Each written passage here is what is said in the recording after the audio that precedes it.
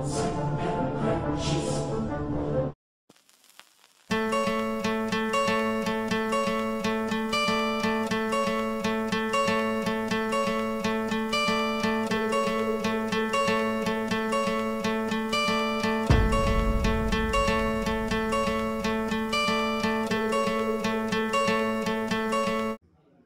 es el mundo en el que queréis vivir?